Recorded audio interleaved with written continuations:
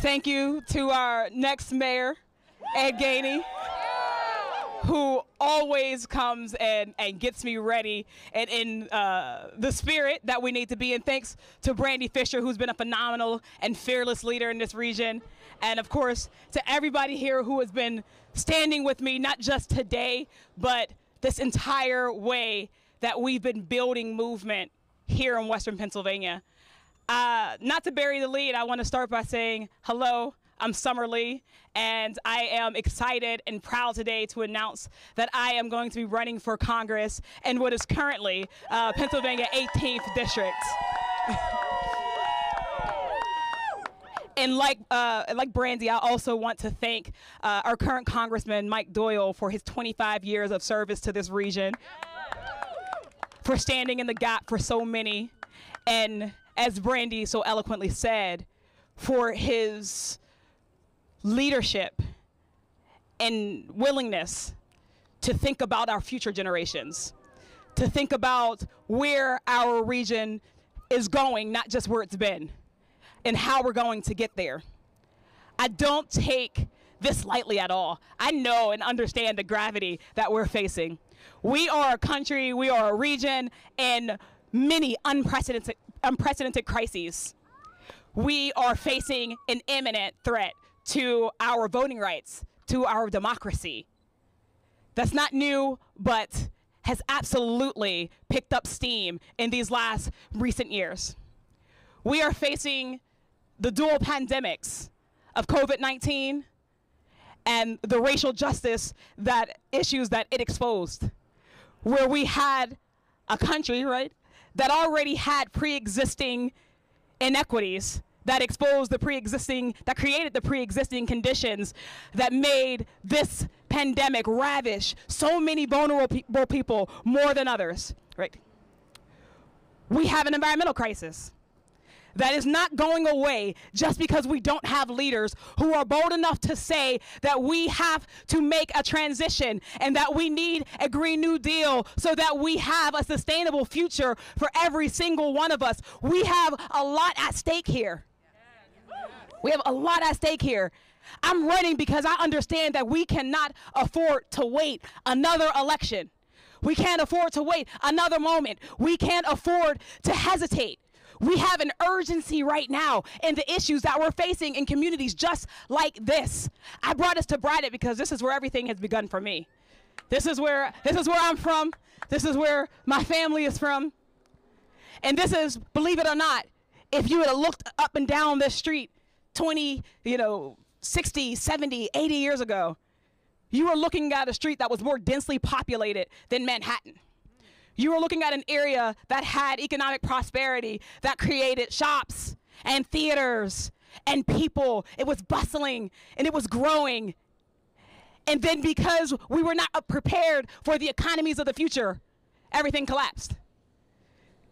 Too it's communities like ours that are not allowed to prepare or think about the economies of the future. And it's always black and brown and poor and vulnerable people and communities that are left to pick up the pieces. But we're rarely the folks leading the conversation when we're talking about what change we need.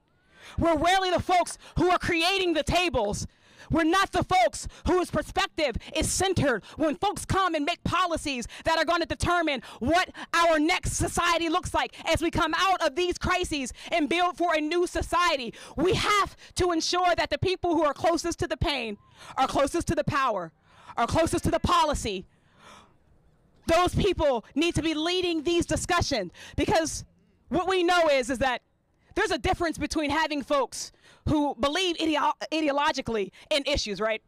There are a lot of folks who believe in a Green New Deal or environmental justice.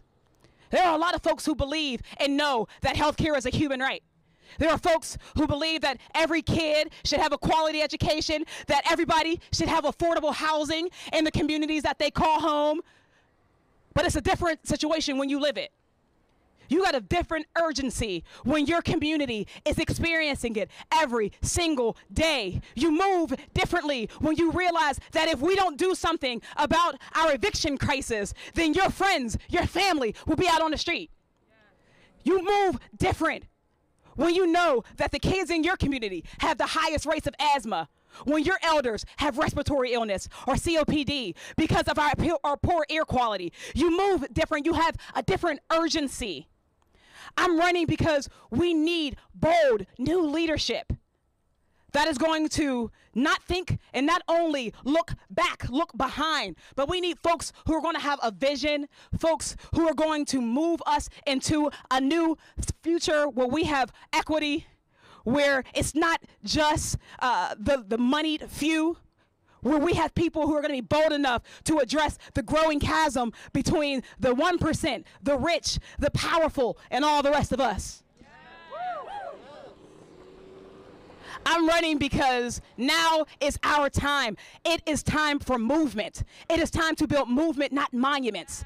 It's time that we have a people centered, people powered politics that changes our region, changes our nation. And I'm here because we have an incredible opportunity to start that movement. Maybe not start, but to really take that movement to the next level right here in Pittsburgh, right here in Western Pennsylvania, in the Mon Valley. This is the place we, where, where we are going to pass a Green New Deal that will come through here. This is the place where we will build a more robust labor movement that is reflective of our workforce where we have people, a coalition that look like the folks who are standing with me today, because this is a coalition that we will move forward into the future. This are the group of people, these are the groups of people. We will have black and white and brown and rich and poor. We will have people from the suburbs and from urban communities. We will build the movement that will touch every corner of this district because we've already done it because we already know that the power of the people is greater than the people in power.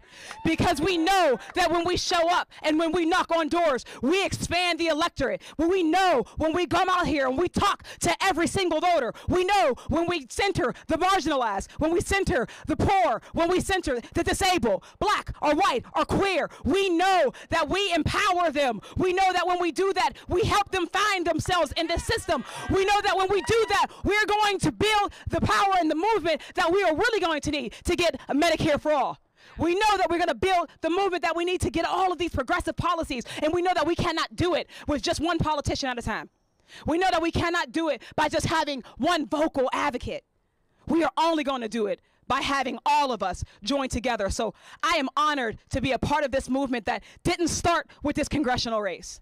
I'm honored to have been a part of a movement that has worked collectively throughout this region to bring political change that has been changing lives in this region, that has already changed lives in this region. We have a region now that is bold in talking about prison reform and police accountability, talking about environmental racism, talking about housing and food injustice, talking about poverty, yes, talking about race these are opportunities that we cannot afford to squander. So I am excited about what the next few months will bring. But I'm even more excited about the movement that will come from this because I know that this movement will set the precedent, will set the example of what's possible everywhere else in this country. So thank you so much. Uh, thank you so much for everyone who stood with me so far. It has been my honor to fight for you, and I will not stop until we have racial justice, economic justice, environmental justice all across this land. And before I go, don't forget to vote, y'all, because even as we're talking about these elections, our movement is about the bigger picture. So don't forget that we still have to come out and vote in two weeks because we fight in every single election. Thank you so much.